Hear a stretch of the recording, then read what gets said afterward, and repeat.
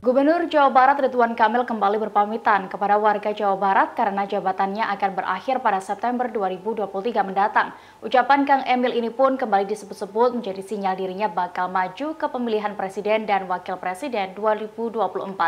Selain itu, Presiden Joko Widodo juga sempat menyebut Ridwan Kamil sebagai satu di antara sosok yang cocok mendampingi bakal calon presiden PDIP Ganjar Pranowo. Diketahui Gubernur Jawa Tengah Ganjar Pranowo resmi diumumkan sebagai bakal calon presiden atau capres yang diusung PDIP di Istana Batu Tulis Bogor, Jawa Barat pada Jumat 21 April 2023 lalu. Selesai salat Idul Fitri di Masjid Besar Zayed, Solo pada Sabtu 22 April kemarin, Jokowi menyebut sejumlah nama bakal calon wakil presiden atau cawapres yang bisa dipasangkan dengan Ganjar.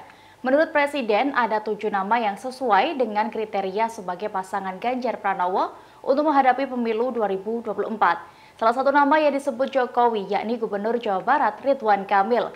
Kebetulan atau tidak, di hari yang sama Kang Emil berpamitan dengan warga Jawa Barat karena Idul Fitri tahun 2023 ini merupakan momen lebaran terakhirnya menjadi Gubernur Jawa Barat.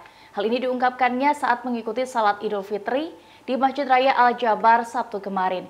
Dalam momen itu, Kang Emil mengungkapkan sejumlah pencapaian selama menjabat sebagai orang nomor satu di Jawa Barat. Tak lupa ia dan Wakil Gubernur Jawa Barat, UU Rushanul Ulum, juga meminta maaf kepada para warga jika selama menjabat melakukan kesalahan.